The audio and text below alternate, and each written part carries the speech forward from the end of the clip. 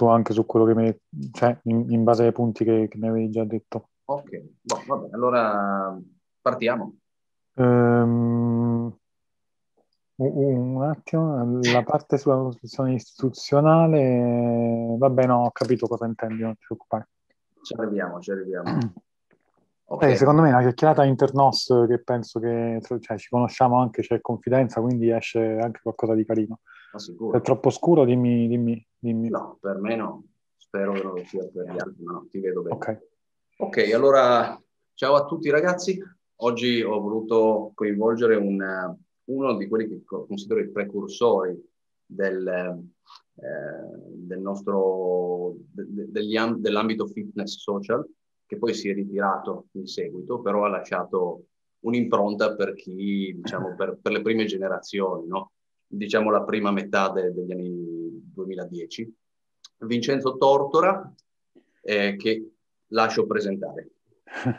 Grazie Lorenzo per questa presentazione, anche dire, un po' melodrammatica, il ritiro, perché in effetti eh, sì, è un po' successo quello, diciamo che Uh, io ho cominciato come una persona che è molto appassionata dell'ambito fitness e nutrizione e ho cominciato un po' a bazzicare, diciamo così, sui vari forum che anche tu ricordi, appunto Bodyweb, eh, Fit Uncensored e vari altri in cui si parlava molto tecnicamente di argomenti di nutrizione, bodybuilding, sport, diciamo ad, ad, ad ampio spettro, e dove si imparava anche tantissimo. Eh, quindi ho, ho, ripreso un po' quei, con, quei, concetti che lì avevo imparato e il modo anche in cui si, si faceva quella divulgazione, per, perché mi piaceva il modo in cui veniva fatta, cioè andare lì sul tecnico eh, per poi tirarne fuori due o tre consigli chiave eh, dopo aver capito tutto quello che c'era dietro. E ho portato, quindi ho iniziato anch'io a fare questo tipo di divulgazione, spinti poi da, dal mondo social che, che, che in quel diciamo che in quegli anni 2011-12 andava sempre più su Crescendo. e dopodiché diciamo così tu hai detto ritirato diciamo, diciamo defilato direi più che mm. altro mm. proprio dal mondo social in sé eh, perché ho ritenuto poi opportuno anche costruire cose, cose mh, diciamo eh, che, più che avessero una certa solidità e non subissero l'influenza di, di mode, mercato, mm. novità perché come sai su specie sui social vanno forte, va forte chi riesce sempre a starci dietro, a stare dietro a... Stare sul pezzo, cavalcando le mode, sì. Esatto, non so tu poi come la vedi e come anche la tua esperienza in eh, questo, a me sembra che sia... Ne ho a che fare, sì, purtroppo. e devo adattarmi un po', ma faccio difficoltà. E fondamentalmente poi sono arrivato a creare quella che è la realtà um, Outside, che um, tu conosci, che eh, si pone proprio come una, una, sorta di sintetizzatore di concetti per le persone che non hanno troppo tempo, modo e voglia, perché a volte serve anche una comprensione di certi tecnicismi per capire cosa fare su se stessi. Allora ho detto facciamo che eh, i tecnicismi cioè facciamo capire che li abbiamo fatti perché li abbiamo effettivamente fatti e studiati, però passati. poi alla fine cerchiamo di dare qualcosa che sia semplificato, non, non, banale, ma comunque semplificato, così che la persona possa avere, diciamo, un boost, un'accelerazione su quello che è uh, una cultura sua personale sul, sul, fitness e la nutrizione. Ok, ma quindi ehm, quando tu hai iniziato, cioè come come si è evoluta la tua visione della nutrizione al di là del tecnicismo, ma anche nel lato pratico, cioè cosa consideri diciamo superato, superfluo o comunque cosa è cambiato di grosso tra la tua visione iniziale dei primi anni del 2010 a oggi, diciamo Ok. Io penso poi a me piacerebbe anche sentire la tua, la tua, su questo, perché penso che tu hai messo le mani nelle cose tecniche molto, mo- ne, ne metti tantissimo, le, le, mani nelle cose tecniche, e penso anche lì c- cioè, le variazioni del, del, mondo si vedono in tutti i, i, in tutti i settori. Ehm, a livello della nutrizione io penso che ci sia stato all'inizio un grande attaccamento appunto al tecnicismo, siamo andati un po' tutti è una cosa che, che ogni, diciamo, a, proprio a livello di individuo, un po' tutti facciamo, penso, ci avviciniamo a un ambito, andiamo molto, molto in profondità e magari diventiamo a volte anche miopi di quello che c'è attorno, prima poi di fare un processo di risalita da quell'ambito. Um, Prima, secondo me, si faceva un po' di più, cioè proprio un movimento quasi culturale di andare in profondità sul tecnicismo e poi c'era anche questa, si creavano anche le community attorno ai tecnicismi, no? Mm. Attorno al, sai, i consigli anche un po' da, da bro. Da bro, nerd. Insomma. Esatto. E, ehm, e poi eh, si è andato a, a, cercare di semplificare, che per me è una cosa positiva, cioè dire ok, belli tecnicismi, bello tutto, però quando abbraccio il mondo reale, in cui metti ad esempio, mi viene in testa, non so perché mi è venuto in testa questo esempio, del, degli gli shaker, gli shakeroni post allenamento. C'era un periodo in cui c'era chi si portava i tre shaker in palestra e magari faceva allenamento di 40 minuti, ok? Cosa che potrebbe essere utile in contesti molto elevati, ma non al ragazzino che inizia adesso ad allenarsi, ok? Mm. E quindi eh, la semplificazione diciamo che doveva esserci, quindi prendi uno shaker, metti tutto insieme e se sei uno che, manti- che, vuole mantenere la forma fisica va bene, basta quello, non serve tutto quel tecnicismo che c'è dietro. Poi però eh, secondo me ci è scappata un po' troppo la mano dal tecnico al semplificato siamo arrivati al semplicistico, al dire vabbè ma è tutto semplice, vabbè ma è tutto uguale, è tutto così, è tutto, basta que- cioè, bastano poche cose. E ehm, diciamo, mi ci metto anch'io, tra quelli che hanno sbagliato anche a riportare i messaggi, in mm. cui, mh, come dire, abbiamo, per così dire, come movimento, diciamo così, abbiamo detto ma sì, ma tanto è uguale, però eh, a un pubblico, diciamo così, non tecnico, quel ma tanto uguale arriva diversamente rispetto se io e te parliamo e ti, ti dico guarda Lorenzo prenditi uno shaker per recuperare l'allenamento tu capisci che io vabbè, capisci perché capisci che magari in mezz'ora di allenamento non ti cambia poi tanto. A un pubblico più, più ampio più vasto un po' più eh, me, meno eh, con meno appunto es- esperienza e cultura tecnica mm. la cosa secondo me eh, ha fatto molto la differenza. E quindi eh, t- diciamo che un po' tutti hanno pensato di poter dire tutto. E, e mm, quello che tu mi hai detto, scusa se spoilerò, nel backstage prima pre-registrazione mi hai detto eh, ci sono persone che magari stanno, hanno accelerato grazie a un processo che io ho avviato, tu hai avviato, che tu Lorenzo hai avviato, ehm, e magari loro non hanno messo le mani in pasta alle cose, eh, alle cose tecniche in cui tu hai messo le mani. Quindi, eh, secondo me, vabbè, le cose poi si vedranno anche sulla lunga, cioè molte persone stanno parlando senza magari avere delle basi forti, quindi prima o poi ci pagheranno lo scotto. Però secondo me è successo perché abbiamo un po' tutti, abbiamo detto, abbiamo semplificato e un po' tutti hanno creduto che vabbè, è tutto semplice, posso dire anch'io questa cosa.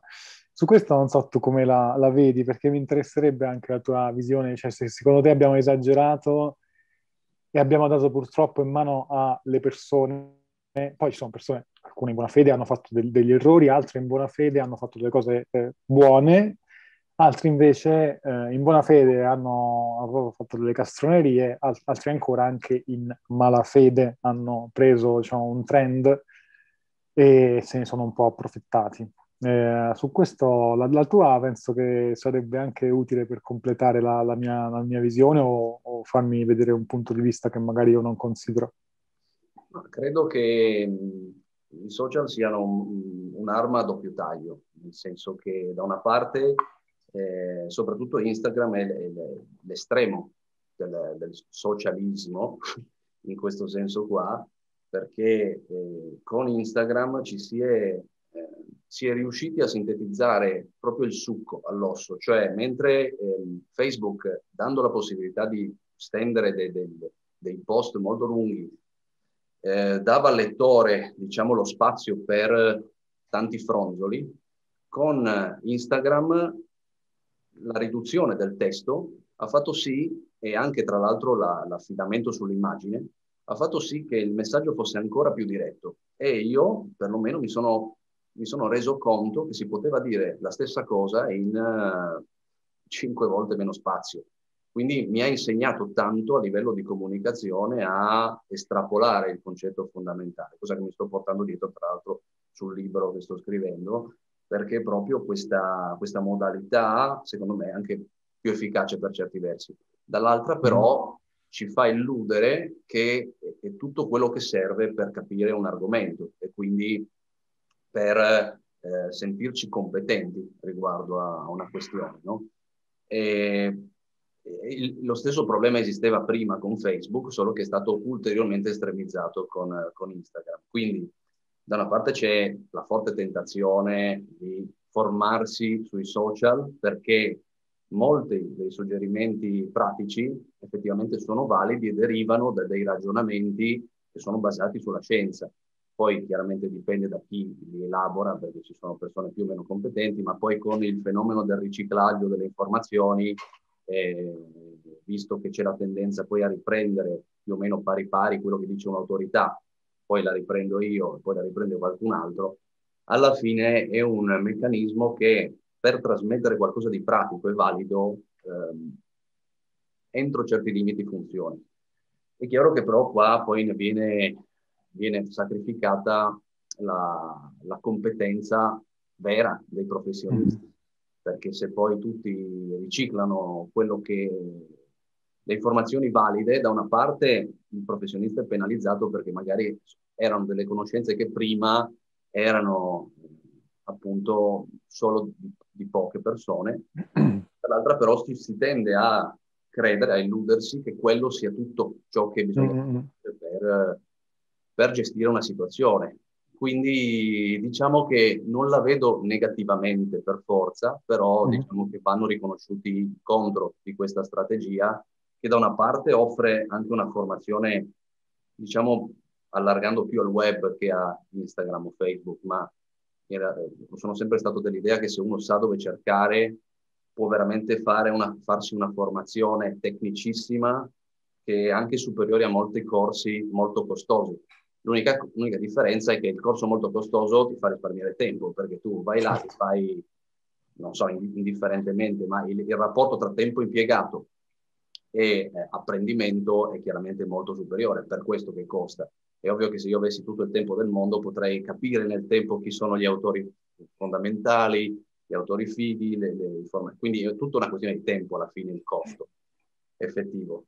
Però internet comunque ti dà la possibilità nel tempo, come faccio io, di capire quali sono gli autori di riferimento, quali sono i tipi di documenti che vanno diretto al punto su certe applicazioni pratiche. Se posso inserirmi qui, infatti ne abbiamo parlato, eh, penso che l'hai visto anche, oh, cioè non visto, sentito, c'è il podcast con Manuel che sto portando avanti, LifeX, di proprio come ehm, adesso la, diciamo, il bisogno principale sia proprio quello di... N- allora, c'è stata, eh, rifaccio, ritorno diciamo un po' nell'evoluzione storica che poi si ricollega anche alla domanda che mi hai fatto, come ho visto io questa cosa. C'è stato un momento in cui abbiamo prodotto, prodotto informazione. Pa- parliamo dell'Italia, perché poi magari negli Stati Uniti è ah. tutto arrivato magari 10-12 anni prima di quello che abbiamo fatto noi. Anche banalmente l'uso di, di Facebook, per esempio, noi siamo, abbiamo, l'abbiamo accelerato molto dal 2009-10, se non erro, eh, eh, ma lì era già 3-4 anni prima. Mm. Um, parliamo dell'Italia, secondo me c'è stato un periodo in cui abbiamo prodotto, vomitato proprio informazioni eh. alla, all'estremo. Beh, il, il, periodo in cui collaboravamo era... Esatto. Eh, sì, era lì, eh, è iniziato forse qualche anno prima, 2010, il boom. Sì. Da, quando c'è stato secondo me il passaggio dai forum a Facebook e ai gruppi, sì. lì c'è stato un vomitare informazioni. Dopodiché eh, mi sembra che ci sia stato un nuovo cambio di paradigma alla ricerca della sintesi di quelle informazioni sì. E successivamente, cioè era attuale, secondo me, non tanto la sintesi, ma dammi gli strumenti, i metodi per cercarmi le informazioni, che è quello un po' che hai detto anche tu, cioè se io so come cercare, conosco quali sono i filtri mentali, ho una uh, accelerazione della, della curva di apprendimento eh, spaventosa, esattamente come può farti un corso, come hai detto tu, è giusto che si paghi, secondo me, cioè è giustissimo quello che hai detto, perché, perché se tu, intendo tu Lorenzo, ci hai messo magari dieci anni per capire delle cose, ora magari c'è il corso, o magari c'è il corso di, di Lorenzo, che effettivamente secondo me eh, sarebbe, come dire, è una cosa che potrebbe essere anche una naturale conseguenza no, del tuo lavoro, in cui eh, insegni il, gli strumenti per cercare le informazioni, ok? non tanto l'informazione in sé, perché uno dice, vabbè, l'informazione la trovi.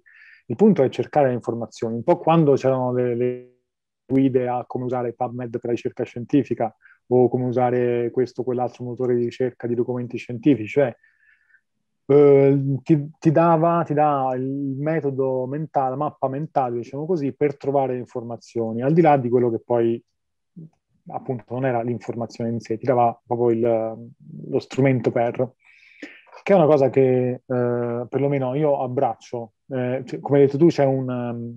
Um, I cambi di paradigma penso che avvengano quando eh, la cultura su un certo settore si è, tal- eh, si è, riempito tutto quello che poteva riempire. Saturata, sì. Esatto, quindi deve andare a livello successivo. A livello successivo, secondo me, in questo momento è proprio eh, quella di fornire lo strumento per cercare. Il tipico proverbio, sai, non, non dirmi, non dare, non dare, a un uomo affamato eh, un pesce, dagli, il, la, dagli insegnali a, pesca- a pescare.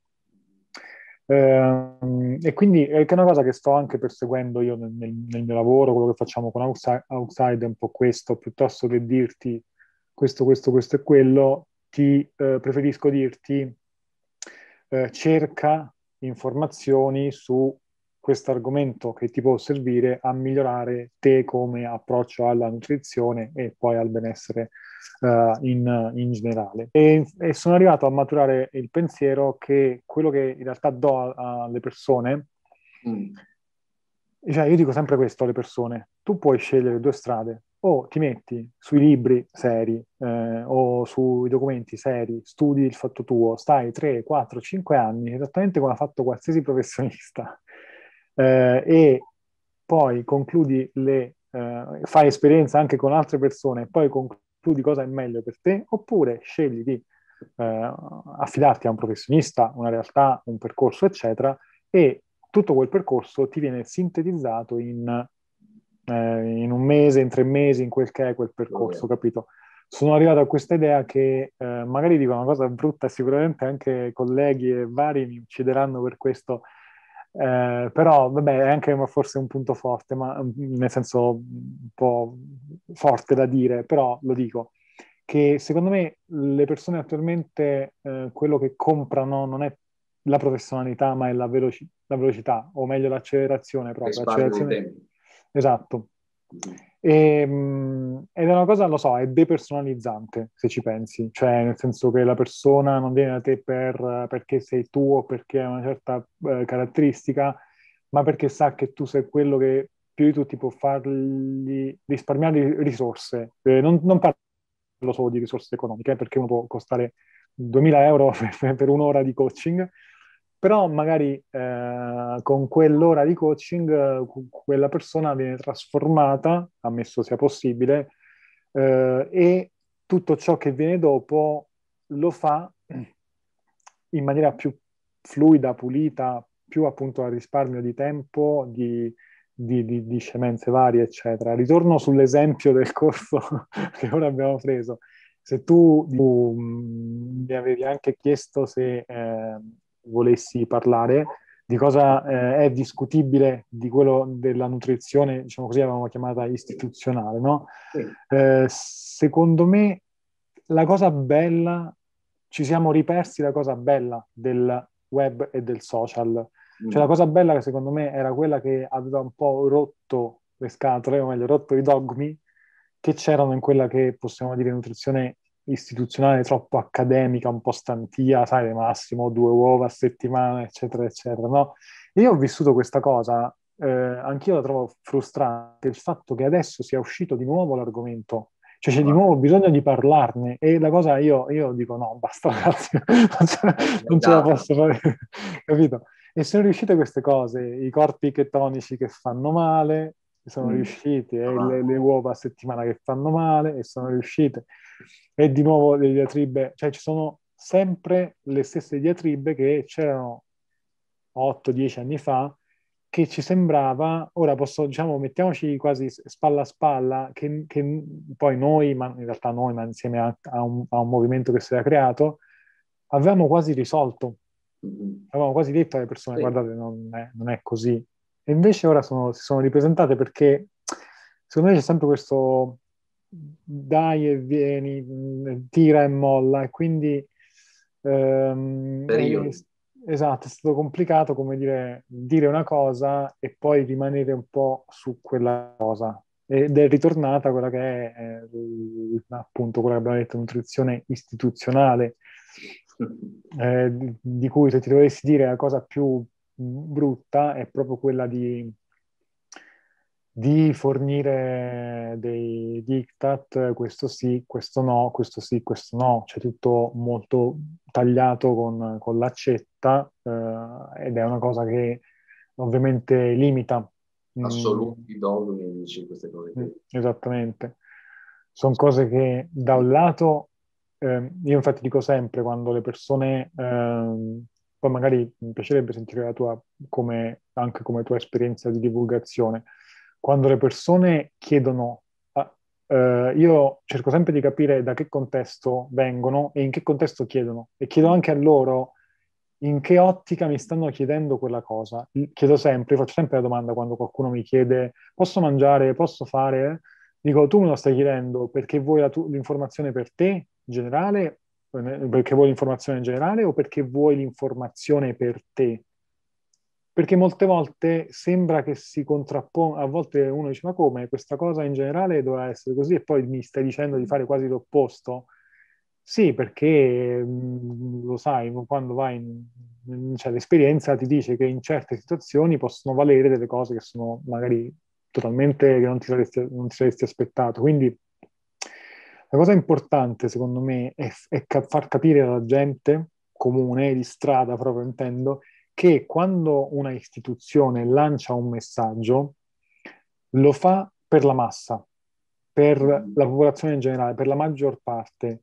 Quindi se l'istituzione dice abbassate il consumo di uova, mangiate al massimo due uova a settimana, è perché nel, nel, nella, dire, nel, nella collettività eh, magari quelle, quelle, più uova a settimana in realtà sono associate a tanto altro, sono associate al fatto che quelle uova magari non sono uova che mangio così uh, sode o, o, in qualche modo sano, ma eh, sono uova inserite in, in alim- cioè derivanti da alimenti fatti con le uova, eh, con, con zuccheri, con farine, con carboidrati, eccetera, eccetera. E quindi, secondo me, quella regola può dare una, come dire, si porta con sé una serie di conseguenze che fa sì che probabilmente la, la persona media può andare a mangiare meglio. E quindi bisogna, secondo me, fare fortemente questa distinzione tra una nutrizione, diciamo così, di massa e una nutrizione poi personalizzata. Non, ehm, non so com'è la tua su questo, in termini proprio di tua esperienza anche di divulgazione, se ti trovi con, diciamo, con questa... Considera che è un discorso proprio uguale a quello che faccio spesso, cioè eh, le eh, raccomandazioni per la salute pubblica trasmettono un messaggio affinché questo sia eh, utile per la maggior parte delle persone. Quindi sparano nella massa cercando di salvare la percentuale più alta di queste persone, per, per capirci, no? Cioè più io riesco a, a migliorare il comportamento alimentare di massa, meglio è stato raggiunto l'obiettivo di questa istituzione. Altra, cosa, altra questione invece è il singolo. E in psicologia è noto che il singolo e la massa sono entità diverse. Ecco, questa cosa andrebbe trasportata anche a livello di consigli nutrizionali, perché quello che vale per la massa può non valere per il singolo, paradossalmente, nonostante il singolo sia incluso in questa massa, perché tutto dipende dal contesto. Quindi su 10.000 persone, se io dico eh, consumate due uova a settimana, so che magari sui grandi numeri ho fatto una cosa buona. Ma dicendo al singolo mangiati due uova al giorno, eh sì, a settimana, perché attenzione era un lapsus. eh, mangiati due uova al giorno. Sì, no. Vabbè, dai, basta, vai avanti. A settimana. Eh, in realtà quel, quel, consiglio non è più valido, cioè non è che lo sto aiutando, anzi probabilmente è un consiglio o neutro o comunque che rema contro, perché appunto sapendo che il tuo oro ha tutta una serie di, di nutrienti, no? Quindi va sempre... Dist- la cosa triste, secondo me, è che questa distinzione fondamentale, ma fondamentale, che dovrebbe essere implicita, non viene compresa neanche da tanti che sono in nutrizione. Cioè, quelli che molti nutrizionisti o dietologi o quello che è, credono veramente che le, i suggerimenti per la, per la salute pubblica, le raccomandazioni, siano un sinonimo di quello che il singolo dovrebbe fare, forse, eh? perché mi rendo conto tante volte di eh, proprio di, di, di, discussioni, anche tramite i social, su Facebook ci sono dei gruppi molto tecnici che racchiudono anche professionisti, quindi sono anni che eh, assisto a discussioni o comunque mi confronto anch'io e tanti nutrizionisti veramente prendono queste linee guida credendo che queste siano un assoluto per tutti no? e che quindi fare diversamente da questo sia sbagliato a livello, diciamo, quasi come un dogma. Mentre quello che bisognerebbe, chiaramente richiede più sforzo cognitivo, è quello di contestualizzare. No? Ognuno ha una, una sua storia, un suo contesto e quello che va bene per uno non va bene per l'altro, eccetera. Questa è già una retorica che insomma, conosciamo mm-hmm. bene in realtà. Però è una cosa che molto spesso bisogna sforzarsi di realizzare perché se io ho una linea guida mi sento più al sicuro a ripeterla pari pari a tutti perché tanto so che più o meno non sto facendo male a nessuno. Però eh, poi si rischia di sollevare o consolidare dei, dei falsi miti che in realtà insomma, non hanno senso di essere soprattutto da parte di autorità. Questo è il mm. eh, se posso, poi da, da, dal mio, se posso dirti, secondo me, perché questo avviene, tu hai detto, bene, nella persona, diciamo così, media, comune, che magari non ha studiato certi argomenti, te lo puoi aspettare. Sì. Ho sentito la TV. Sì, esatto, eh, quello è Quanto è difficile, ad esempio, convincere i propri cari, gli amici, i genitori. È una cosa io ho smesso. Dico, vabbè, lascia stare, segui la TV, non ce la faccio, è difficile, no? Ma eh, poi dal professionista uno dice dovrebbe avere degli strumenti già mentali per... Secondo me quello che è successo, la nutrizione, almeno quello che è stata la mia esperienza anche universitaria, eh, viene insegnata proprio per poi andare eh, più nel lavoro, eh, diciamo così, in, in, una clinica o in ospedale o a fare menù per le mense o per le comunità Uh, e di là è ovvio che io debba stabilire un menu e, e mi va bene quella cosa, sì. è anche merceologicamente correttissimo, va benissimo, cioè il menu che viene creato va bene. Il punto è che viene fatto pochissimo insegnamento di, non c'è ad esempio un corso di nutrizione personalizzata, come personalizzare in base a quello che succede eh, quando segui una persona, non, non c'è questo tipo di, di, di corso, almeno quando ho fatto io eh, il percorso accademico. E quindi, secondo me, andare sul campo con questa visione, quindi con un, una formazione che ti viene data per essere un, diciamo così, generalista, che non è sbagliato, eh? anzi, io, io, sono, io, apprezzo molto le formazioni generaliste, mm. però andare con una, un modo generalista cercando di fare lo specialista è un, un guazzabuglio, si genera un casino e si genera quello che, che stiamo dicendo finora. Adesso io so che mi ammazzeranno qualcuno, verrà, e le istituzioni ci butteranno giù il video. Lo so, perché io credo che questo, questa capacità di distinguere derivi da una mentalità scientifica fondamentalmente, cioè è, è la base una, una, persona che ha dimestichezza con eh, il ragionamento scientifico, la forma mente scientifica, arriva già, cioè dà per scontate queste cose. Però, eh, da quello che mi sembra, tanti che vengono da un percorso universitario non sviluppano queste capacità perché eh, magari prendono il percorso come studio queste nozioni meglio possibile per passare l'esame, poi il titolo sono a posto e ne faccio una professione. Non è il voler volersi addentrare nella scienza, il, il volersi ehm, proprio appassionare a, al discorso scientifico è là che apprendi cose in più, perché se la prendi come un queste sono le regole, le applico perché so che sono al sicuro, perché mi hanno detto che le linee guida dicono questo, che è estremamente più comodo e magari è funzionale in alcuni contesti, poi non, non hai la possibilità di sviluppare un tuo ragionamento, cioè un, un ragionamento proprio, cioè non, non, non, ti poni neanche il problema. No? Poi questo è un estremo, chiaramente ci sono le certo. sfumature, però è una tendenza che noto, noto da, da, molto tempo ed è anche il motivo per cui in nutrizione si consolidano i falsi miti, perché laddove la linea guida dice una cosa, vai nella ricerca a vedere e questa cosa non, non è provata o è discussa, dibattuta, addirittura smentita a volte. Quindi, eh, e, e, dico, ci sono casi innumerevoli di questo, visto che lo faccio da anni, sono tanti falsi miti che, non so, sei anni fa, ma anche, anche meno, il nutrizionista su YouTube dice mangiate sei pasti frequenti perché così alzate il metabolismo e uno va in letteratura e già dagli anni 90 sta roba era smentita. Ma e allora com'è possibile che ci siano tutti questi paradossi? Perché uno non si pone il problema. Mm. Le linee guida sono quelle, mm. è più comodo. Mm, sì sono stati confusi i contesti secondo me quando si confonde il contesto è proprio la cosa peggiore. Ancora prima di... Tu hai detto prima il pensiero scientifico, secondo me ancora prima, proprio il pensiero logico, cioè il pensiero di base, ecco. Che a sua volta si basa, sì, il pensiero scientifico poi si basa sul pensiero logico, quindi insomma è alla base. Sì, sì, sì.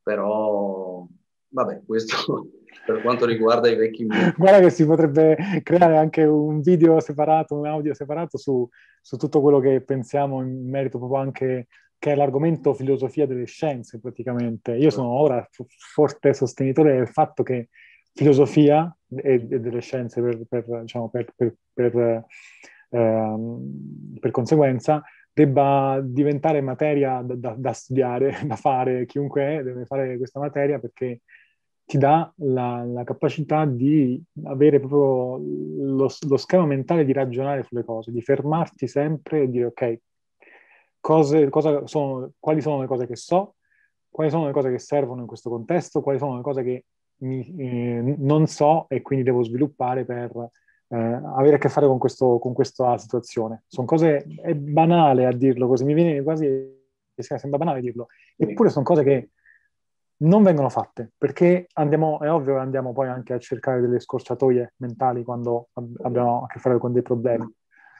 Il punto è che le scorciatoie mentali vanno bene quando dobbiamo prendere decisioni veloci, ma quando c'è da ragionare appunto su un ragazzo che deve perdere peso, deve aumentare, raggiungere una certa performance, no, no, non, cioè, bisogna fermarsi e, e, ragionare seriamente.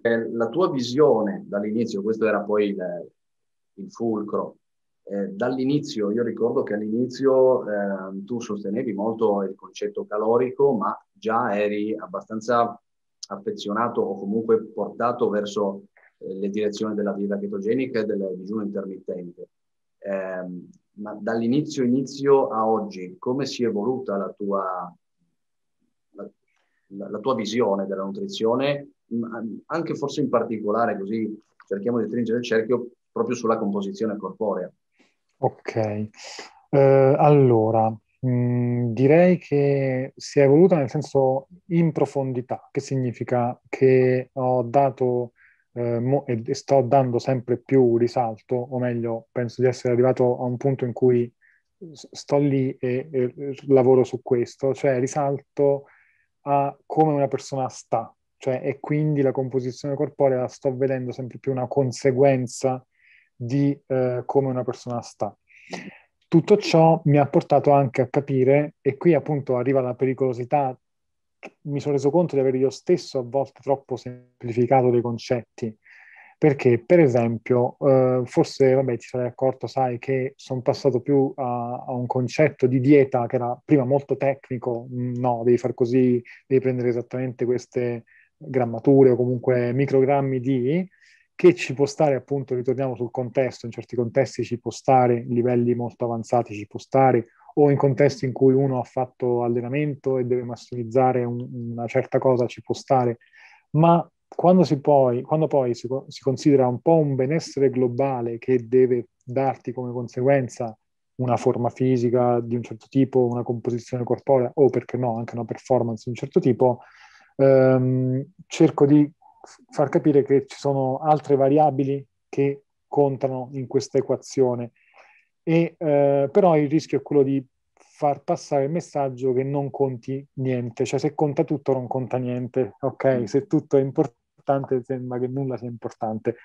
Um, cosa voglio dire con questo? Che ad esempio andare a dire a una persona guarda che sì, mangia un tot, ma puoi stare in un range uh, di, di, di porzione, di grammatura anche abbastanza ampio, non, non, è, non è, per andare a uh, banalizzare, non è uh, quel tipo di semplificazione, ma è perché dietro c'è il fatto che se poi parlo di persona, diciamo che media, ok, una persona vuole stare in forma, se quella persona con un'indicazione di questo tipo, un range mangia tra 100 e 150 di qualcosa, cioè come 100 e 150, è, un, è, una differenza di, di, oltre la metà, no?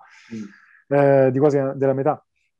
Eh, però magari quell'indicazione dà quella tranquillità, quella serenità tale che quell'indicazione viene eh, anche assorbita più facilmente, la persona più facilmente e quindi riesce a mantenere per più a lungo quella indicazione e poi eh, lo stesso avere una, una, serenità d'animo, diciamo così, e non stare lì a ripunginare continuamente come alcuni magari uh, fanno purtroppo certe volte, dà anche un, una conseguenza in termini, diciamo, eh, lo, ora sembra che voglio fare il santone, poi spiego, no?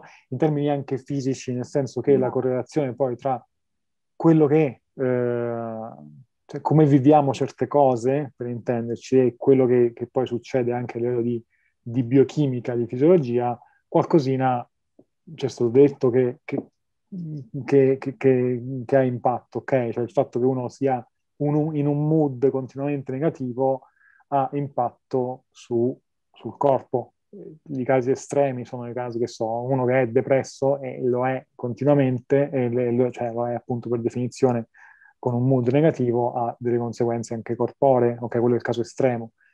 Andando sul caso meno estremo, però possiamo portarci a casa il consiglio che se uno fa le cose con una certa serenità, eh, sta anche meglio come suo benessere interno e quindi come, eh, come conseguenza di composizione corporea, se ha un obiettivo di composizione corporea. Quindi questo per dire che eh, diciamo, devo fare mia, mea culpa sulla semplificazione, che il messaggio da passare non era puoi fare un po' un po' va bene così, era guarda che poiché è, c'è un'interazione di diversi fattori, questi fattori alcuni spingono, altri eh, frenano, quindi se tu questo range se parliamo appunto di alimentazione, prendi questo range di grammi di un alimento piuttosto che concentrarti sul numero fisso, non stai facendo un errore o quantomeno nel lungo termine l'errore va a, annullarsi e quindi quello che ottieni è quello che volevi ottenere. Questa è la mia, diciamo, spero di averti dato una, una, la traccia della mia visione attuale sì, sul, sì, sull'argomento. Beh, ehm, comunque tu sei sempre stato affezionato agli approcci chetogenici e digiuno intermittente, sei ancora orientato su quella strada lì? Diciamo che secondo me sono approcci che ci danno molto in termini, diciamo, didattici, anche se poi sono stati anche capiti male, lo, sai bene, no? Stati mal interpretati, eccetera perché ci sbloccano da certe cose. Il digiuno intermittente ci sblocca dal fatto che dobbiamo fare forza mangiare sempre continuamente, no? Al di là del, del, fatto di come farlo in termini formali, con tutti i vari approcci formali, è proprio, secondo me, è l'altro lato che è importante, l'approccio permissivo a certe cose, cioè, e quindi che si può prestare bene anche a uno stile di vita in cui uno dice io non ho fame a colazione, comunque sono eh, di fretta a pranzo, quindi eh, non mi viene la fisima mentale che devo per forza mangiare perché comunque sto ho capito che effettivamente c'è anche un, un, un, protocollo dietro questa roba, ok? E va magari ottimizzato la mia nutrizione attorno al mio stile di vita. La, l'altra, la parte delle ketogeniche, diciamo che sono... Mm, mi piace quello che ci hanno dato, fatto capire. E anche lì il fatto anche permissivo, anche loro, il fatto che se stai senza carboidrati due giorni non muori, ok? che è una cosa che, eh, anche questa è una cosa che può sembrare banale per, per, per, te che, che studi eh, sull'argomento, su, vari argomenti, compreso questo, può essere banale la cosa, no? Il corpo produce delle sostanze che lo fanno andare avanti. Eh, ne, ne, negli ultimi tempi ritornato di nuovo il concetto che eh, se stiamo a digiuno due giorni il corpo si intossica, si inacidisce, eccetera, eccetera, capito? e, e, quindi anche lì è successo di nuovo il, il guazzabuglio che abbiamo detto prima. Il fatto per, per, perché sono affezionato, perché comunque secondo me può essere anche un modo a volte semplice e non sbagliato di approcciarsi a diciamo un dimagrimento inizialmente, perché ti toglie di mezzo una categoria di alimenti, ti sblocca un po' sulle altre categorie.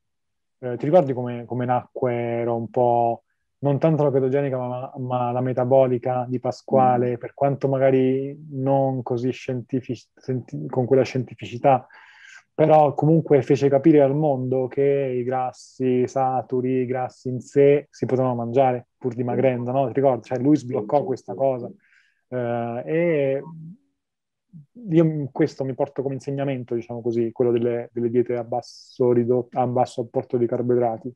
Il fatto che eh, riducendo i carboidrati puoi sbloccarti un po' di più su, sui grassi. A volte può essere educativa questa cosa, paradossalmente. Quindi dici che hanno portato, diciamo, andando contro a quelli che prima definivamo i, le regole o i dogmi della nutrizione classica, hanno fatto capire che si poteva andare oltre, che si potevano sì. poteva andare contro diciamo, queste, queste, regole inviolabili apparentemente. Sì, sì. Che poi, non lo so, poi ovviamente eh, persone, cioè, la massa che riceve le informazioni polarizza sempre le informazioni. Non si può, o io ho capito che non si può scappare a questa cosa, quindi eh no, bisogna... È la, è la sua natura. Esatto. Quindi uno deve avere anche la responsabilità che quando lancia un messaggio, per quanto sia costruito e comincia a mettere tutti i vari paletti, c'è sempre una polarizzazione. Le persone leggono e sentono ciò che, ciò che si aspettavano di, legge, di leggere e sentire.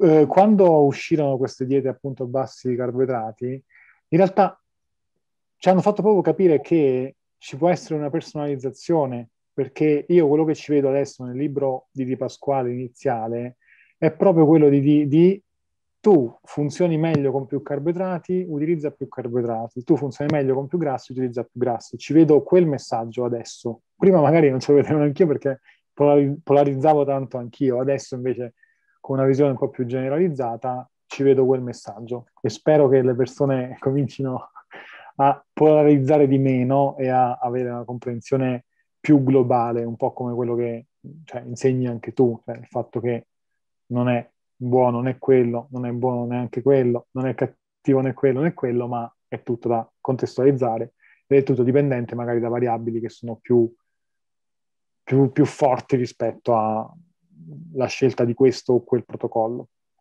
per la persona in questione. Poco tempo fa, credo fosse l'altra settimana o due, ho visto il tuo che promuovevi, che outside, un posto di outside che promuoveva il, il discorso delle, di poter rimanere in chetosi anche sì. con, con, introducendo i carboidrati, quindi non, non, è per forza una low carb. Questa cosa mi aveva intrigato, ma poi ci sono arrivato forse. Ok. Siamo passati eh, al tempo insomma, che collaboravamo, anche io studiavo molto quella, quell'argomento mm-hmm. quindi eh, però vuoi parlarcene o vuoi tenerti il segreto? Certo, no, no, ne parlo perché io sono per la condivisione. Lo so che mi do la zappa sui piedi in termini economici, ma va bene così, sono per la condivisione. Allora, fondamentalmente, infatti quella, quella, quei post, quegli articoli lì, o anche il, c'era un videocorso, sono stati molto criticati da, le, da, tutti i grandi fan delle ketogeniche in maniera molto spinta. Molto spinta. Però secondo me chi eh, ha preso la chetogenica da questo punto di vista e ha criticato fortemente quel tipo di, di comunicazione là, secondo me è, è, colui che non ha capito be- bene come funziona il, il meccanismo eh, perché il meccanismo, cioè la dieta chetogenica non nasce come dieta sì, a, a, bassissimi carboidrati, però ha uno scopo finale che è oltre l'abbassamento dei carboidrati, che è portare l'organismo in chetosi.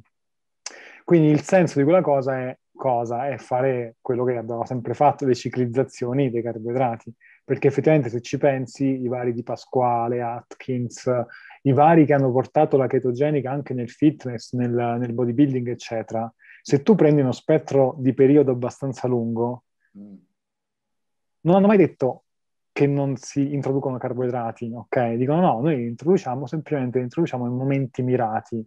Sì. Andiamo a sfruttare dei benefici eh, della chetosi, della low carb in certi momenti eh, e in altri momenti però ci risulta necessario andare a, eh, diciamo, ricaricare, rimettere i, insomma, i carboidrati no? Eh, nel, nel, nel, sistema.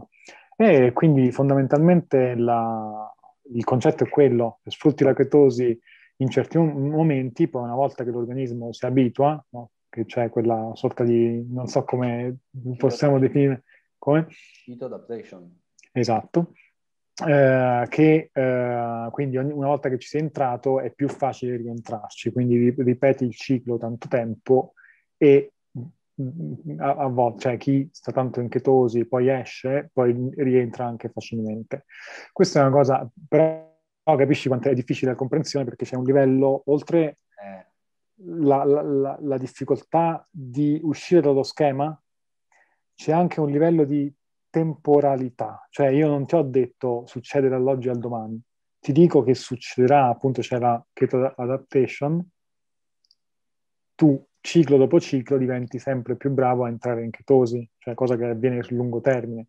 È un concetto molto, molto è, è, è, diffi- è difficile, molto... Fortunatamente io credo che appunto di Pasquale, ma forse ancora più McDonald's abbiano permesso di capire questo perché di Pasquale non si basava tanto sulla, sulla chetosi in sé, ma eh, McDonald's proprio strutturò il libro per, di, per cercare di capire come recuperare il prima possibile la chetosi. Quindi eh, credo che abbia fatto forse più degli altri, vabbè sono di parte, però, però sì, effettivamente ha fatto tanto, quindi se non fosse stato per il fitness probabilmente non conosceremmo questi approcci più o meno. Mm. Eh, te lo dico perché comunque sto, nel libro ho steso parecchi capitoli anche su questo, è comunque una, un mondo, quello della, della, dieta chetogenica, che mi ha affascinato anche a me.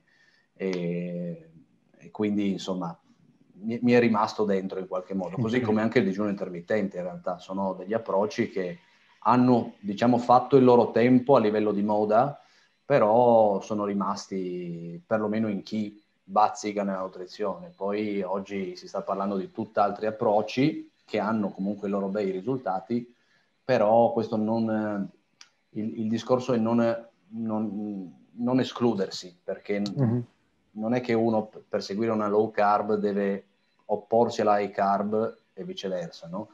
Anzi, secondo me, l'approccio più evoluto è saper gestire tutti i tipi di alimentazione e quindi passarci, eh, quindi trova, diciamo adattarsi a ogni tipo di approccio perché questo porta, porta, dietro un bagaglio di conoscenze che poi sfrutti all'occasione. Ecco, quindi un periodo magari ti, ti va di fare la chetogenica, un periodo stai high carb, anzi secondo me molto bene sia per la flessibilità mentale, quindi non focalizz- fossilizzarsi su dei metodi, ma anche per una flessibilità diciamo di tipo metabolico, perché uno uh-huh. se si adatta ad essere, a, a seguire una dieta molto glucidica, perde magari la flessibilità ai grassi e viceversa. Quindi uh-huh secondo me sono sempre stato molto affascinato da questo, da quello di riuscire a, a rimanere flessibili proprio a livello di testa nell'alimentazione e, e, potersi muovere un po' dove si vuole piuttosto che rimanere fissi. No? Ok, ci, siamo, ci siamo dilungati. dilungati. Quanto basta? Credo che sì, siamo un'ora passata. Però poi, visto che mi, mi, piace fare questi discorsi, se vogliamo fa- fare altre occasioni in cui... Ce lo organizziamo meglio, perché questa volta non avevamo regole, quindi siamo andati un po'... Ok. Va bene, allora grazie Vincenzo per questa piacevole... Grazie a te Lorenzo, è stato davvero un gran piacere come sempre. se vuoi dare dei riferimenti su, su di te. Mm, semplicemente va bene il sito outside.com o uksid.com per vedere un approccio magari un po' snello al diciamo fitness benessere per uh, l'appassionato ma non uh, avanzato ecco. Mm-hmm. ok. Va bene grazie di tutto e ci riaggiorneremo sicuramente presto. Va benissimo. Grazie Lorenzo. Ciao Vincenzo